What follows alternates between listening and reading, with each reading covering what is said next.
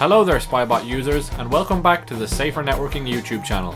My name is Rob from Team Spybot and I'm here today to give you a demonstration of the new version of Spybot Anti-Beacon. Let's get started with today's tutorial. Spybot Anti-Beacon is used to prevent telemetry data from being sent to Microsoft. We believe that users should be able to decide on which information they would like to be sent to Microsoft, and Anti-Beacon allows you to do this.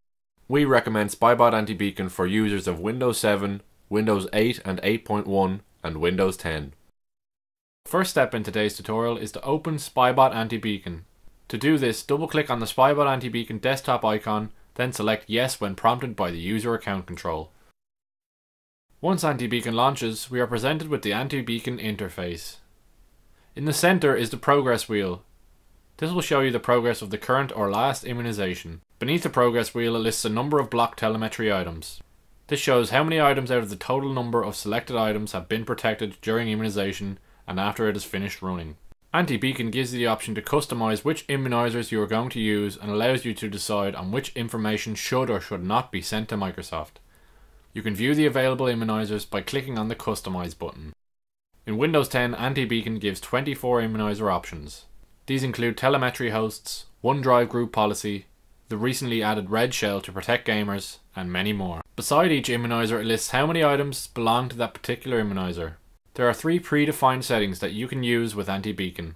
First, there is the minimal setting, which immunizes against the most important forms of telemetry and prevents them from being sent to Microsoft. The immunizers that are included with each setting will be shown as blocked, while the other immunizers that are not included will be shown as permitted. The next setting is recommended, this includes recommended settings from Safer Networking as well as the minimal settings. The full option allows you to block all of the telemetry data that is possible with Anti-Beacon. This will prevent any telemetry data from being sent to Microsoft. We are going to select the full option, then press Done. This will return us to the main window and immunization will begin. We now see that immunization has been performed. The progress wheel shows that immunization was successful. The inner blue line represents the number of protected items in relation to the total number of items that can be immunized. If you would like to change the level of protection, you can click on the Customize button again and select a different protection setting. Then press Done to apply these changes. If something has been blocked which you did not want, which could be preventing a certain application from working that you would like to use, for example OneDrive, you can return to the Customize screen and undo the option for OneDrive. If you would like to undo all of the changes made by Anti-Beacon, you can click on the Customize button again, then click on None to undo Anti-Beacon's immunization. You can now decide on which level of protection to use or what items to include in a custom selection for immunization using Spybot Anti-Beacon.